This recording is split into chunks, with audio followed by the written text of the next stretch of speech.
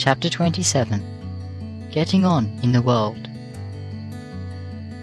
It is natural and praiseworthy for a person to be looking for a higher and better position than the one he occupies. So long as a man does his whole duty in what he is engaged in, he is not to be condemned for looking for something better to do.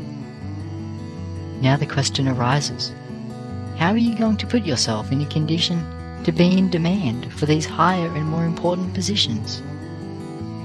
In the first place, you should be continually on the lookout for opportunities to improve yourselves in your present work.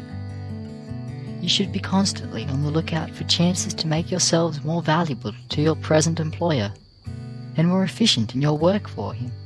Suppose you are engaged in the work of milking cows. I think it better to talk of practical things with which you all are acquainted. Although I know that many of you boys had rather I would tell you how to go to Congress than how to become successful milkers. Inasmuch, though, as I suspect a good many more of us will have to milk cows than go to Congress, I think it will not hurt us to talk about milking. If the boy who milks cows now does that thoroughly, by doing it, he may lay the foundation to go to Congress later. The point is that we want to be constantly on the lookout for ways of improving whatever work we are engaged in, whether that work be milking cows or doing something else. In whatever you are doing, there are a great many improvements which you want to become acquainted with.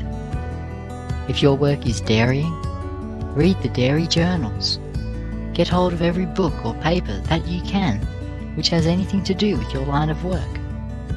Be sure that you know all, or as nearly as possible, all there is to know about milking cows. And then, don't be content with what you get out of books and newspapers, for that information is only the result of some other person's experience. By conversing with intelligent and experienced persons, and by your own experiments, you can get much valuable information about your work.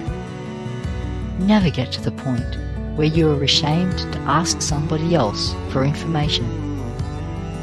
The ignorant man will always be ignorant if he fears that by asking for information he will betray his lack of knowledge.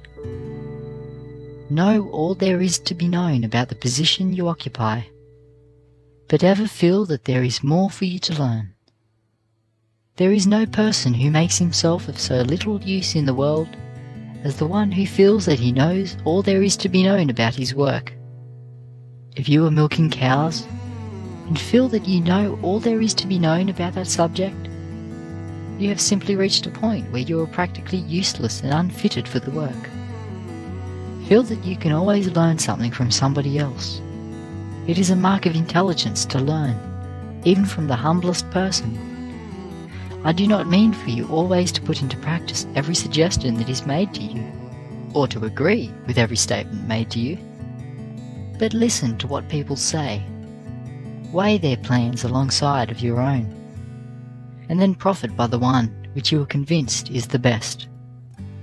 Persevere in such conversation, and in reading.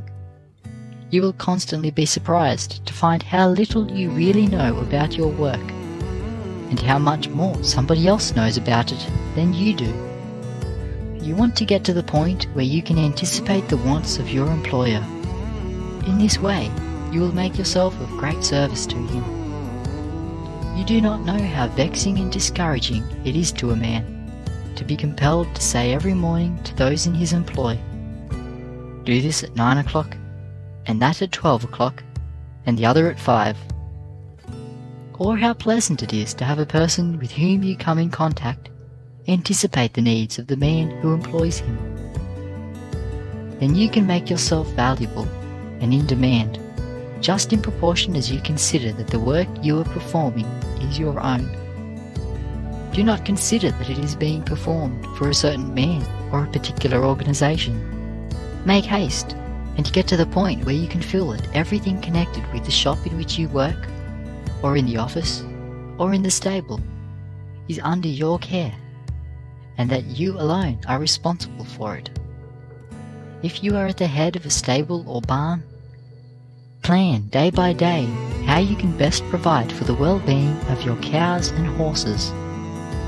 When you make yourself master of these humble positions, you will find that the calls to higher places will come to you.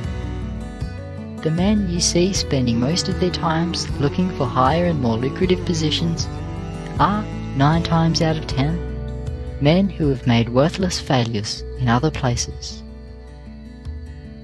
End of chapter 27. Getting on in the world.